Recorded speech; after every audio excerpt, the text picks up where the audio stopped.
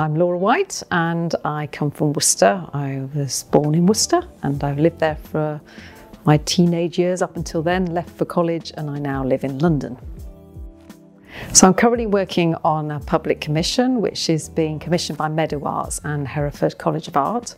Um, it's a two-part wall piece on each end of the halls of residence in Hereford and one end is a sort of relief sculpture which is made from scaffolding fabric on a large metal frame. And the other end of the building has a large poster which is of Bernini's um, Daphne and Apollo sculpture, of which the sculpture kind of works from and mimics in some kind of way through its fabric so the work in some ways doesn't fit into that location, but on another hand really does sit in. So this nature of a, a, kind of a Baroque sculpture sitting in the edges of Hereford, Baroque doesn't necessarily relate to Hereford, but the materiality of the work is absolutely in that location. It's the materials of construction, um, scaffolding, hoarding materials and scaffolding that becomes very much about that area, that new area around Hereford.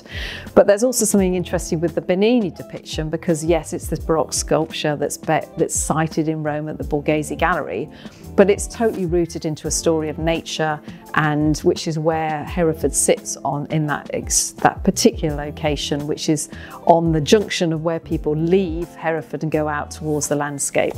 So it has this kind of rejection of place and absolute absorption of place.